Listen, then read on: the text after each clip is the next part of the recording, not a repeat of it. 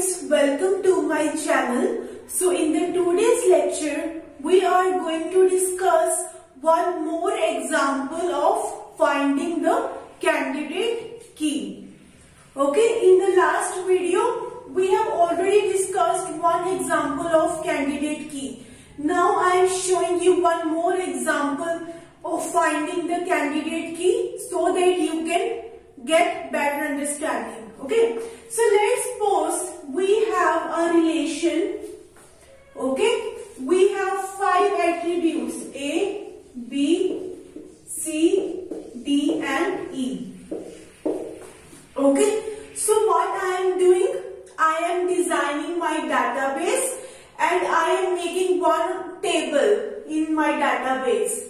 And what are the attributes of my table? These five attributes. A, B, C, D and E. Okay.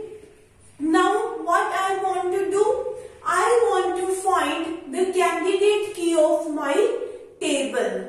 Okay. So before finding the candidate key of the table, first of all I would try to determine the functional dependencies of these five attributes by looking at the type of attribute. Okay. So, let's suppose we have these functional dependencies A to B, we have B to C, we have C to D, and we have D to A. Okay, so I just assumed these functional dependencies. Okay, I am just assuming that these functional dependencies exist. Okay, so now what I will do with the help of these functional dependencies, I would try to find the candidate key of my relation. Okay, so let me show you one thing. Let's suppose I have three attributes in my table A, B and C. Okay, 1, 2, 1, 2, 2, 3, 3 and 4. Okay, so now what I am saying I am saying that there is a functional dependency from A to B. What does it mean? It means for any value of A, I am able to get the one unique value of B. Okay, if I say, please tell me the value of B if the value of A is 1. What you would say? The value of B is 2. Okay, for value of A 1, what is the value of B? 2. For value of A 2, the value of B is 3. Okay, so A, there is a functional dependency from A to B. For each and every value of A, I am able to get one particular value of B. Okay, now what I am saying, there is a functional dependency from B to C. There is a functional dependency from B to C. What does it mean? It means that for given, for any value of B, we are able to get the one particular unique value of C. Okay, the value of B is 2. Tell me the value of C. Okay, there is a functional dependency. Okay, what does functional dependency means? If the value of B is 2, we would get one definite value of C. So in both the cases, we would be having 3. Okay, you can't write here 3 and 4. Then this functional dependency would be wrong. To make it functional dependency, what we have to do? We have to write here 3. Okay. So from A to B we have this functional dependency. Okay. And from B to C each and every value of value of C. Okay. Just try to understand these two functional dependencies. For each and every value of A, you would get one unique value. And for each value of B, you would get one unique value of C. Okay. So obviously from A, for each and every value of A, you would be getting the unique value of C. Okay if we have A to B, okay, this functional dependency is right. There is a functional dependency from A to B. If you are given any value of A, you can uniquely determine value of B. Okay, alone A is enough to determine the value of B. And any number of attributes you add to it like this. Any attributes you would be adding to A. It also would be determining the B. Okay, because alone is enough. Any kind of additional information if you add to A, you can also determine the value of B.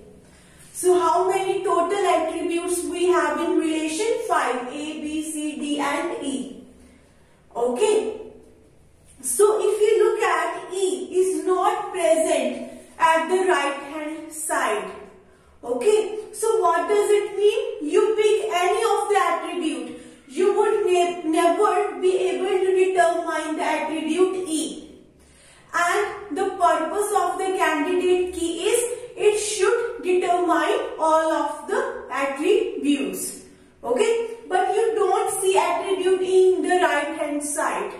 So what we have to do now? We have to include this E attribute in the candidate key. Okay. We have to include this E attribute into the candidate key. Firstly check if just with the help of only E attribute we are able to determine all the other attributes. Let's try to check if E can be the candidate key of our relation. Find the closure of this attribute. Okay. So if you look at with the help of E, you are not able to determine any of the attribute. Okay. Because E is not present in any of the functional dependencies at the left hand side. So you are not able to determine any of the attribute just with only E attribute. Okay. So now what we have to do? Let's try to add some another attribute with E attribute. Okay. So I am adding attribute A with attribute E. Now let's check if we can determine all the other attributes if we use AE as the candidate key. Okay. So if we have AE, okay, so we definitely value of AE. Okay. So if you look at this functional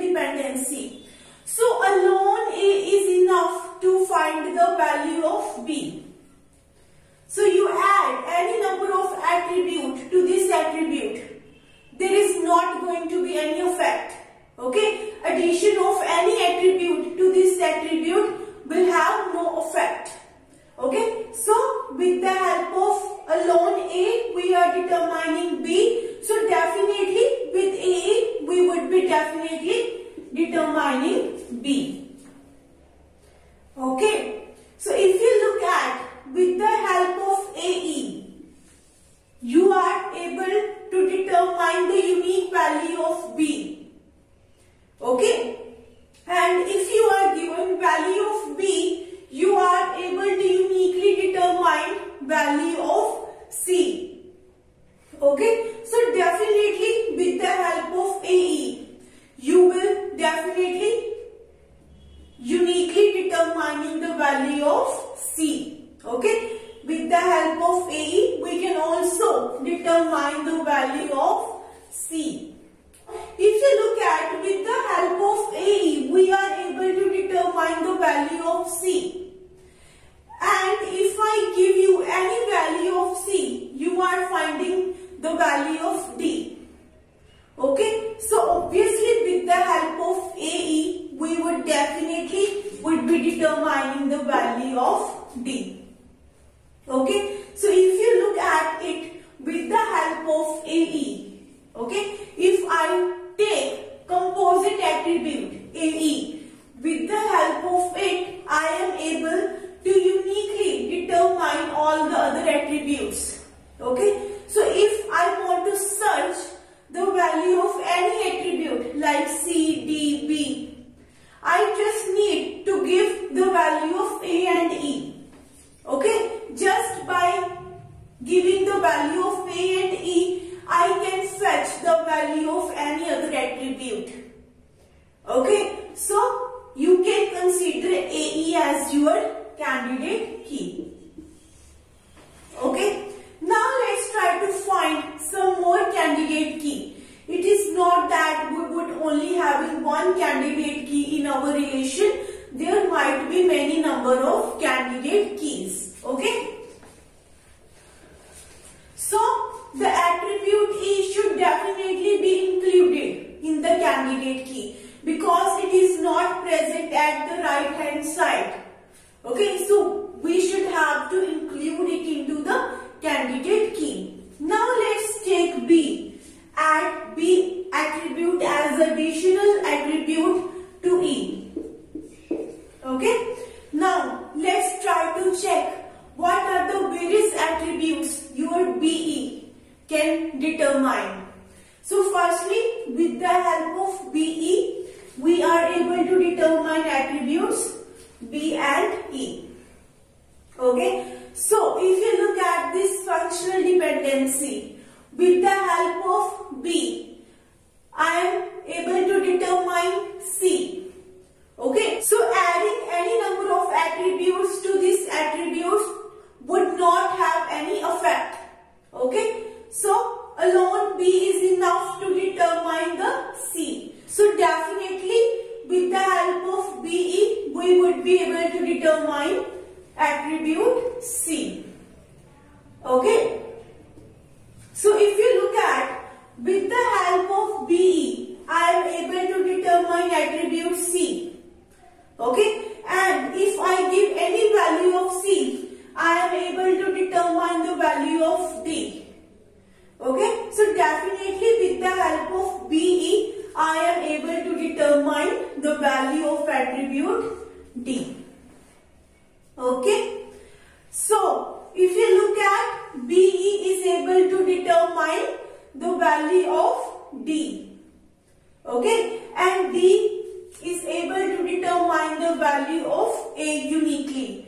So, definitely with the help of BA, we are able to determine the value of A. So in this case also with the help of BE attribute I am able to find the value of all of the other attributes. If I give you value of BE you can uniquely determine the value of A, C and D. Okay, any of the attributes you can determine just with the help of BE attribute. So BE is also going to be your candidate key. Okay. Now let's try to find some more candidate keys. If we have CE. So with the help of CE, we are able to firstly determine CE. Okay. And if you look at C to D, if I give you value of C, you can determine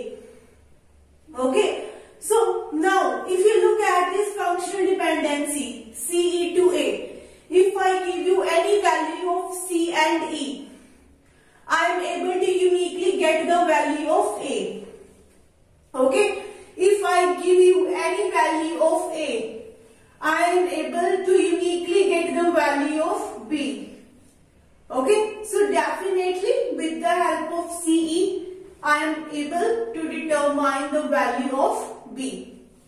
Like this. So in this case also, we can consider CE as a candidate key. Okay. So with the help of CE, I am able to uniquely determine all of the other attributes. So CE is also your candidate key. Now DE. Let's check if you can use DE as your candidate key. Okay. So DE. Okay. If you will be finding the closure of DE. So definitely DE. Okay. The closure of DE would definitely be firstly DE. So if you look at this functional dependency, if I give you the value of D, I can get the value of A. Okay. So any kind of additional attribute to D attribute would not have any effect. So you add any number of extra attributes to D, you would definitely be able to determine the value of A. Okay. So now if you look at with the help of DE, I am able to get the value of A. I give you any value of DE. You would give me one value of A. Okay. And for that one value of A, we would be getting only one value of B.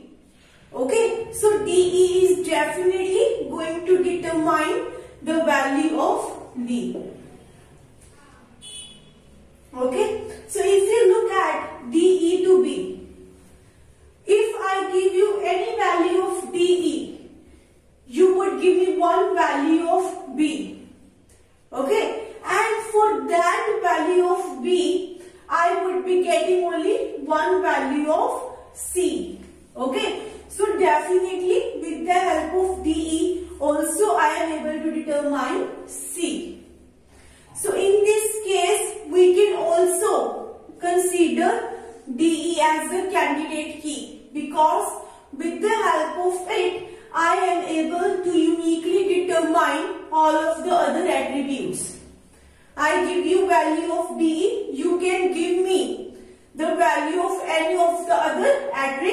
views.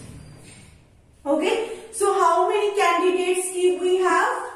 AE, BE, CE and DE. So these four are actually minimal keys. These four are actually your minimal keys. You know, you can't delete any of the attribute from these keys. This is minimal, this is minimal, all these four are actually minimal keys. Okay, you can't make like this A, B, E. If I write A, B, E, A, B, E is not actually the minimal key. You can say it as the super key.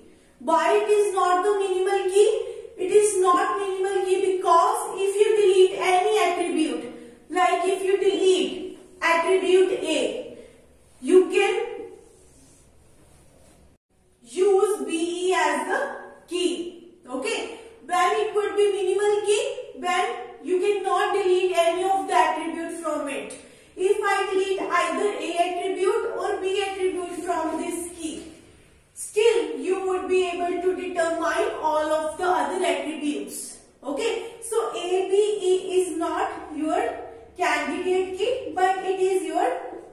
Super key. In this case, we have just four candidate keys present. AE, BE, CE and DE. Even you cannot use CDE as your candidate key. It is your super key. It is not a candidate key. If you delete any attribute from this key, either you delete C or you delete D attribute.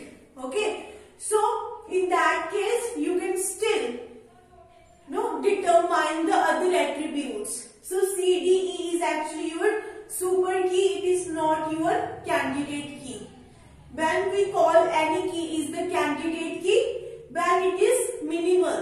You can't delete any of the attribute from this key. Okay, like these cases, like these four cases. Okay. So, I hope that you are clear with this example. Thank you so much for watching my video. If you like my video, please like, share and subscribe my channel. If you have any doubt or question, I have mentioned my email ID in the description box. You can contact me on that email ID.